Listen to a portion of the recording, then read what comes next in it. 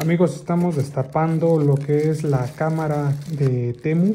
La cámara que luego sale en promoción hasta por 160 pesos, 163 o 53 pesos.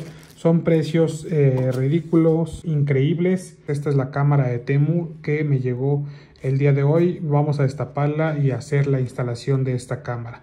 Esta cámara me costó 230 pesos. Yo la agarré con un descuento y pues hay más descuentos que puedes obtener ahí por ser nuevo usuario. Y bueno, pues así es como viene la cámara de Temu para el coche.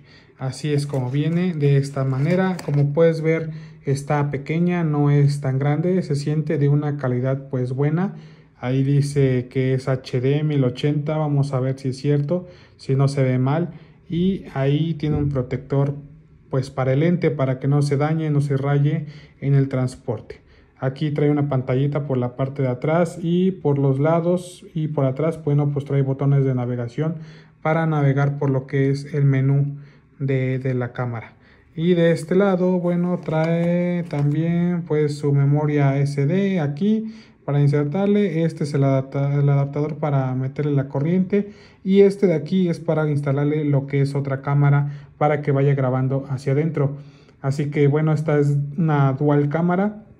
Graba hacia lo que es frente del vehículo.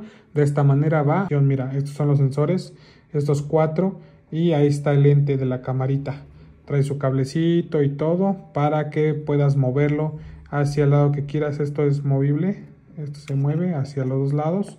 Ahí ya depende hacia dónde la quieras acomodar de la parte de la cabina. Vamos a ver qué más trae. Trae una pegatina para poder añadirle al cristal del carro.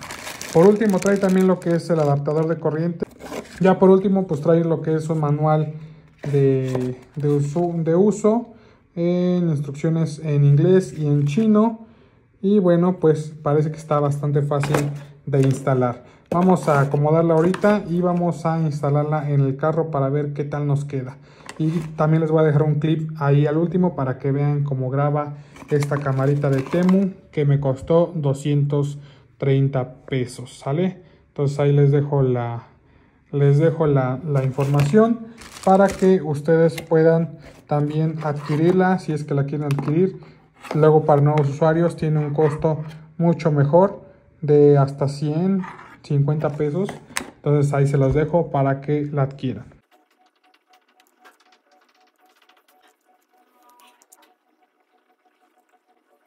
Amigos, ya quedó instalada, por aquí pude colocarla, fue el mejor lugar que, que, encontré, más estratégico.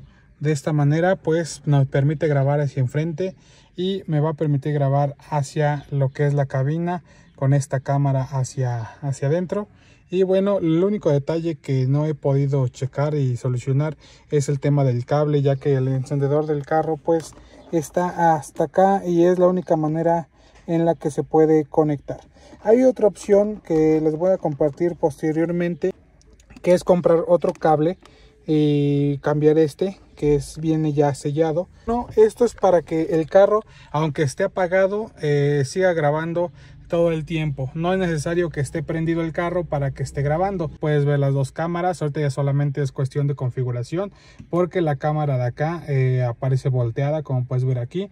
Y pues aquí podemos navegar entre menús y entre diferentes tipos de tomas de cómo ves la cámara, de cómo ve la cámara de adentro, cómo ve la cámara de, de hacia afuera y aquí vamos a ir pudiendo navegando. Puedes poner mitad y mitad puedes ponerla toda completa pero sigue utilizando esta o sea sigue grabando aunque eh, nada más se vea hacia enfrente la visualización. Como puedes ver la calidad pues es buena. Ahorita te voy a dejar un video hasta el último para que veas qué tal qué tal graba y bueno pues vamos a ponerla aquí por el momento en esa toma. Ahorita voy a configurarla para que pueda grabar con una mejor resolución. Eh, voy a ver la manera de poder esconderlo por acá arriba por acá pasarlo por acá arriba y esconderlo por esa moldura que se ve ahí para que pueda ir escondido. Y así es como se ve una grabación directamente desde la cámara, graba en Full HD y esta es la calidad que ofrece. Obviamente en el celular pues se ve un poco menor la resolución, pero está bien por el precio. Lo único que sí no me gustó fue que no tuviera una aplicación para no descargarlas, nada, solo descargarlas desde el celular, ya que aquí en esta forma tienes que pasarla a la computadora y luego descargarlas. pero de ahí en fuera por el precio se me hace que está muy bien.